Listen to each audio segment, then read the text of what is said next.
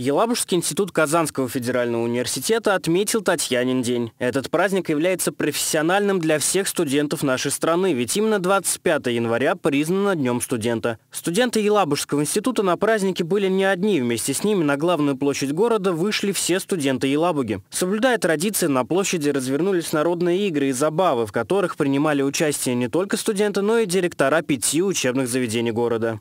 Очень вас люблю, люблю Елабужский институт и безмерно горжусь, что когда-то стала его студенткой, потом выпускницей. Сейчас с любовью работаю и служу своему родному вузу. С праздником, дорогие друзья! На общегородском празднике не забыли и про студенток Татьян. В этот день подарками чествовали именинниц, которые отличились инициативностью, упорством и лидерскими качествами. А, недавно мы закрыли сессию, и я поняла, что студенчество помимо учебы, экзаменов, это еще и веселье, это еще и народ, праздники и всегда хорошая компания. Первый общегородской день российского студенчества в Елабуге завершился танцевальным флешмобом. Олег Кашин, Ильшат Ахмадеев, Денис Сипайл, Файдар Салихов, UniverNews.